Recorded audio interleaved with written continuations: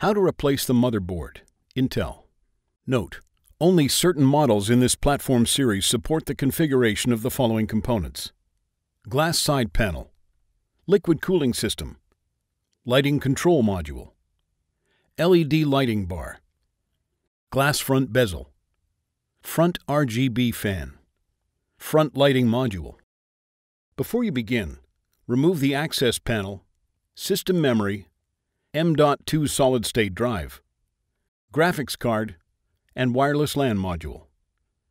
Depending on the configuration, remove the heatsink or the liquid cooling system.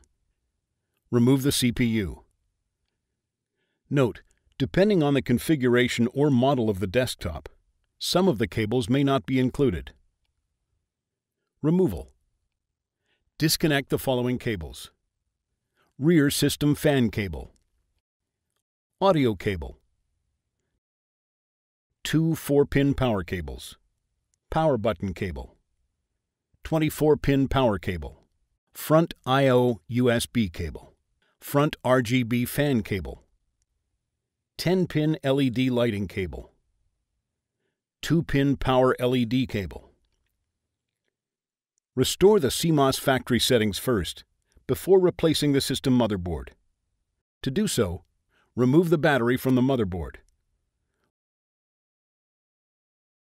Wait 30 seconds. Replace the battery to the motherboard. CMOS factory settings are now reset. Note, you will now need to enter System BIOS and reset the clock in BIOS after this procedure. Remove the 7 P1 Phillips head screws that secure the motherboard to the side chassis.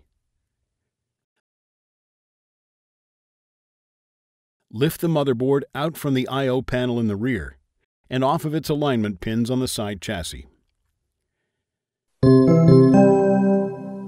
As you complete the replacement of a part for the desktop, you should ensure that all of the cables are correctly routed.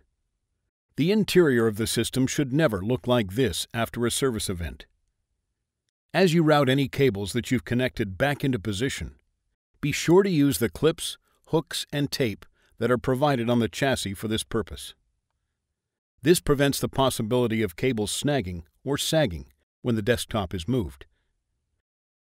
It also helps ensure clear sight and access to the components, should any further troubleshooting or servicing be needed.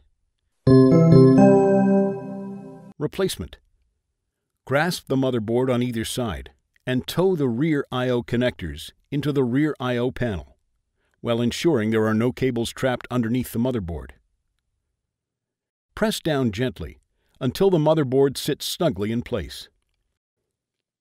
Replace the 7 P1 Phillips head screws that secure the motherboard to the side chassis. Reconnect the following cables to the motherboard.